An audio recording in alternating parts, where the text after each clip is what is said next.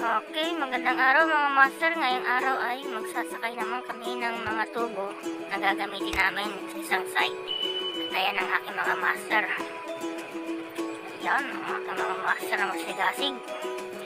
At dito namin sasakay ang aming mga isa, mga tubong gagamitin. Okay, let's go. At ayan na nga, umpisa na ang mga master na magsakay.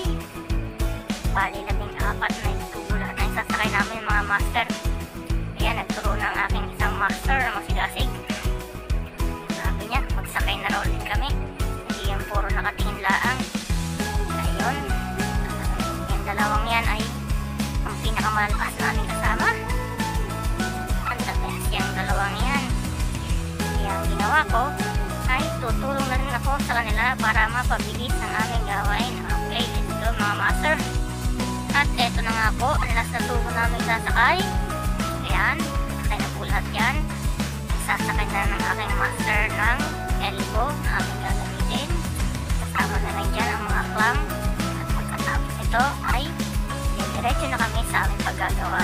Okay, let's go mga master. Ito na nga po, pupunta na kami sa aming pagkakabitan ng mga tubo. Yan, chinecheck na ng aming bossing ang aming odometer ng sakyan kung gaano kalayo ang aming tatakboy at pagkatapos niyan, bati na kami.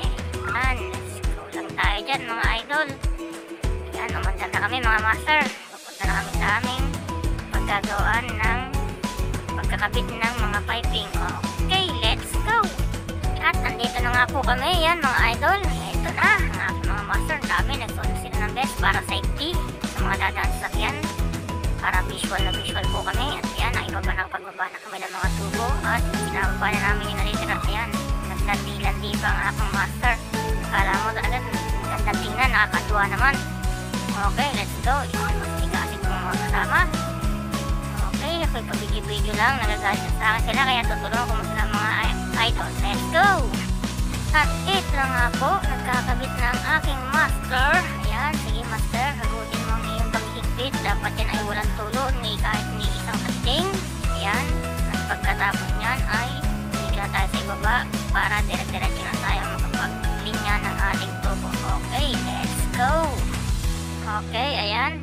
kabit na kami ng elbow sa ibaba. Nagpitan na ang clam. Dapat walang tagas yan mga master ha? Para walang back job okay, bati kami. Para matapos na ang aming gawa ni araw talaga naman to nagbabalik-balingan pa. Kala mo ng ganda tingnan nakakatuwa naman. At eto na nga po nakakalahati na kami ng aming ginagawa. Yan ang bilis talaga magtrabaho ng aking mga master ang mga idol. Yan sige. Ilapat mo lang ang goma tutok mo yung tubo lagyan nyo ng clamp para mabilis tayo kaya lang sabi ng master ko pagod na siya kailangan natin ng break time ayan dami na tayo may kapit mga idol at eto na nga, nagpamerienda ang aking master. Hindi ko alam kung bakit ito nagpamerienda. Hindi ko alam kung nakain ito. Siguro baka ito nakapagbare kagabi, kaya maganda ang mood. Yun lang naman ang kanyang kasiyahan, makapagbare. Pagkatapos ng merienda, trabaho ulit. At eto na nga, balik trabaho ko ngayon mga idol. Ayan, ang aking mga master. Pinakabit na nila ang huling tatlong tubo para kapag relax na kami ulit. Ayan, sige lang, kabit na lang yan. Okay mga idol, tutulungan ko muna ang ng master. Let's go! At eto na nga, ikinakabit na ng aking master, mga idol, ang clamp. Nakatap na rin tayo sa balbula. Ayan, tumingin pa ang aking master. Ay, nakakakilig mga idol. Ayan. Sige, ayan na nga po. Kinakabit na ang elbow. Pagkatapos ng mga idol, ay, alam na. Siguradong relax na tong mga aking mga master. Ayan, hapitin nyo, hagot higpitan nyo. Dapat walang tulo. Ni isang patak mga idol.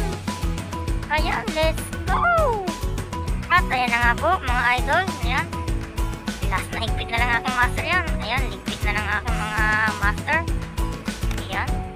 Ngayon na mga idol, sa araw nito ang aming ginawa. Pagkatapos ito ay relax na. Yari na. Okay. Let's go. Maraming salamat mga idol. Thank you.